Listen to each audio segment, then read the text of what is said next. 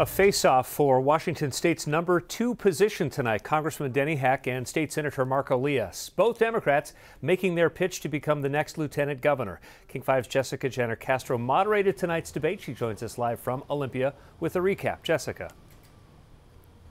Hi, Mark. It was really a great debate with a lot of substantive discussions among the candidates. The lieutenant governor is second in line to the governor, also the president of the state senate. And tonight, the candidates were asked about a variety of things about their ability to reach across the aisle to Republicans, if they're capable of stepping in as governor if need be, how they would fix our budget shortfall, and how to bring back prosperity after the COVID 19 lockdowns. And we talked to them after tonight's debate and they made one last pitch to voters. Take a listen.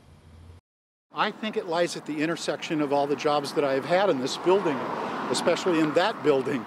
Uh, having served in the legislature, having been a chief of staff to a governor, having uh, founded, co-founded TVW, having that ringside seat, uh, this is where my political DNA is. This is where my passion is. Well, it's not about power. It's about where can you influence the most change. And I do think, as we've seen with Lieutenant Governor Habib, you know, this is a bully pulpit where you can really advocate for the big transformational changes. That's what I want to do.